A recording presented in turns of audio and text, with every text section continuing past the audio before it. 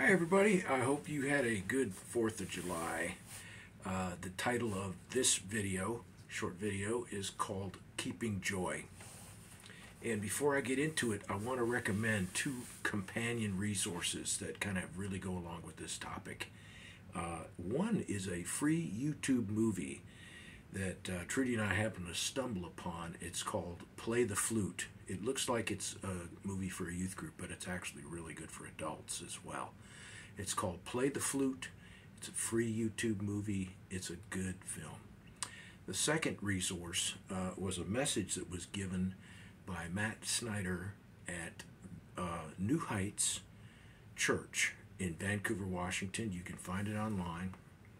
Uh, New Heights Church, Vancouver, Washington, and it was the Sunday morning message, uh, July 3rd, just this past Sunday. An online message. Both of those resources go along with what I want to talk to you about today. First, I want to read Psalm 19, verses 7 through 11. The law of the Lord is perfect, converting the soul. The testimony of the Lord is sure, making wise the simple. The statutes of the Lord are right, rejoicing the heart. The commandment of the Lord is pure, enlightening the eyes. The fear of the Lord is clean, enduring forever. The judgments of the Lord are true and righteous altogether. More to be desired are they than gold, yea, than much fine gold. Sweeter also than the honey and the honeycomb. Moreover, by them is thy servant warned, and in the keeping of them there is great reward.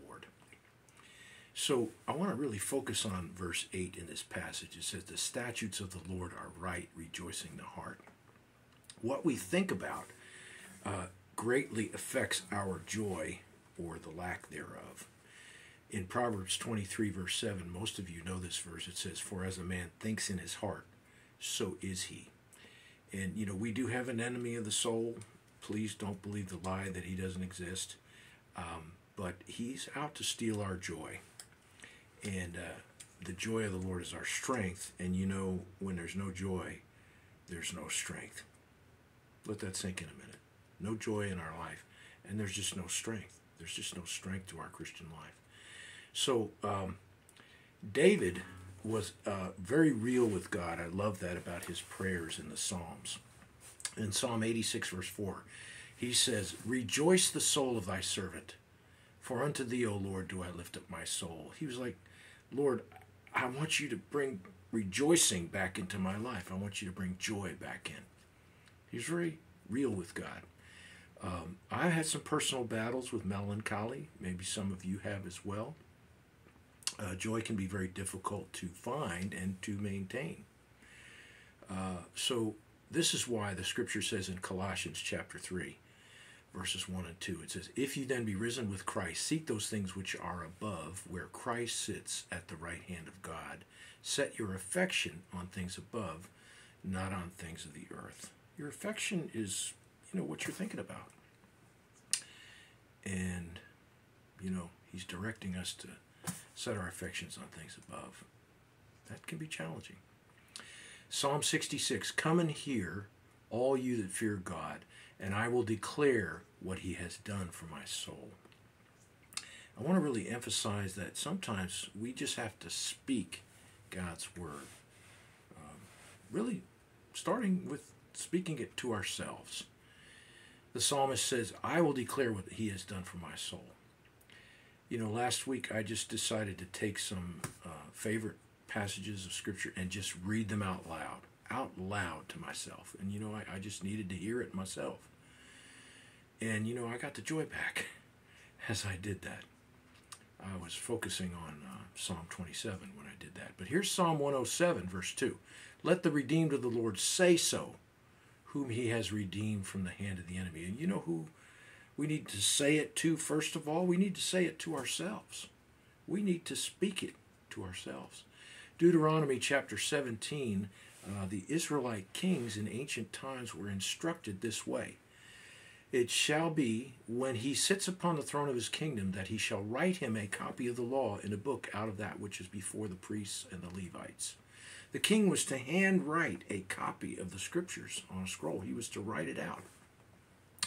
And it shall be with him that he shall read therein all the days of his life, that he may learn to fear the Lord his God and keep all the words of this law and these statutes to do them, so that his heart be not lifted up above his brethren, and that he turn not aside from the commandment to the right hand or to the left, to the end that he may prolong his days in his kingdom, he and his children, and in the midst uh, in the midst of Israel. King had to write it out, and he was instructed to read it every day. So Proverbs 18:21 says, "Death and life are in the power of the tongue, and they that love it shall eat the fruit thereof." Uh, have you ever taken a bite out of a rotten piece of fruit? I don't know. You know, I'm thinking of a banana right now. You know, once it reaches a certain stage where it's just the outer part starting to turn black, and I don't know. I just it's no fun taking a bite out. You know, but that's the effect of a lot of words. You know, whether you hear them on the news all the time, a constant diet of that, or you're speaking sort of negative stuff and so the opposite is this uh, Joshua 1, verse 8. It says about the Bible, it says, This book of the law shall not depart out of your mouth. In other words, keep talking, speaking it. Um, you know, thou shalt meditate therein day and night, that thou mayest observe to do according to all that's written therein. For then thou shalt make thy way prosperous, then you'll have good success. So it says to keep speaking it, keep saying what God says. If you if you need to get the joy back, if you need to get the rejoicing back in your heart, in your spirit, try that. Pick some favorite passages of the Bible, passages about faith and victory, about Jesus especially, and just read them out loud. Just take your time, read them out loud to yourself. If necessary, repeat them. As long as it takes to get the joy back in, to get your faith back up, it's great. Um, you know, uh, I heard a song uh, not not too long ago, a few years back. A friend of mine named Daryl Sneed shared this song, but it's written by, I believe, a guy by the name of Michael Combs, kind of a country kind of singer. But I really like this song, and it tells a little bit about getting the joy back, letting the joy overflow in our lives, and it's called "Drinking from My Saucer."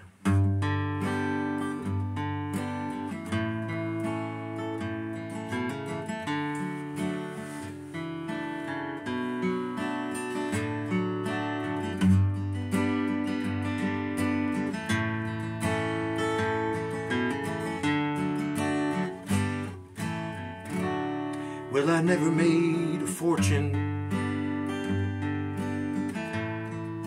It's probably too late now. But I don't worry about that much. Cause I'm happy anyhow. As I go along life's journey. Reaping better than I sowed.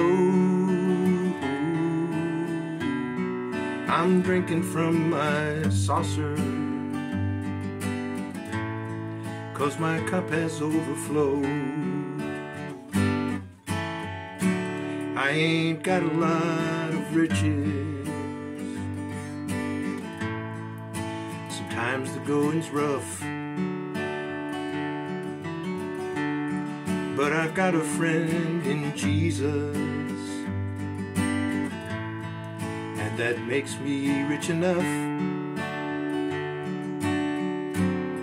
I thank God for all his blessings And the mercies he's bestowed. I'm drinking from my saucer cause my cup has overflowed. Oh, sure, I've been through some storms.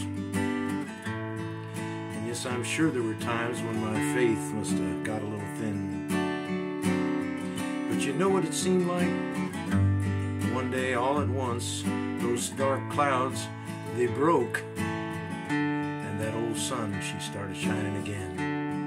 So Lord, help me not to grumble and complain about the tough roads that I've hoed. I'm drinking from my saucer. Cause my cup has overflowed. And if I should go on living, way grows steep and rough, I won't ask for other blessings. Cause I'm already blessed enough. May I never be too busy to help another bear his load. I'll keep drinking from my saucer. Cause my cup has overflowed. I'll keep drinking from my saucer. Cause my cup has overflowed. My cup has overflowed.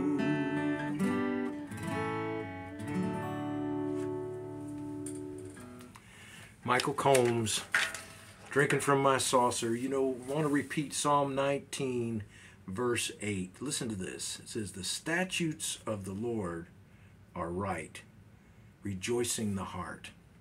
Statutes of the Lord just means God's word. They're so right, they're so true, they're so good that, that if they get inside of us and we speak them and we say them, you know, joy comes back. Rejoicing comes back. And our cup can overflow with joy. I don't know about you, but I need that more and more and more. These are dark days that we live in. So, uh, amen. I hope that your cup will overflow and you can drink out of your saucer too. Love you. God bless you.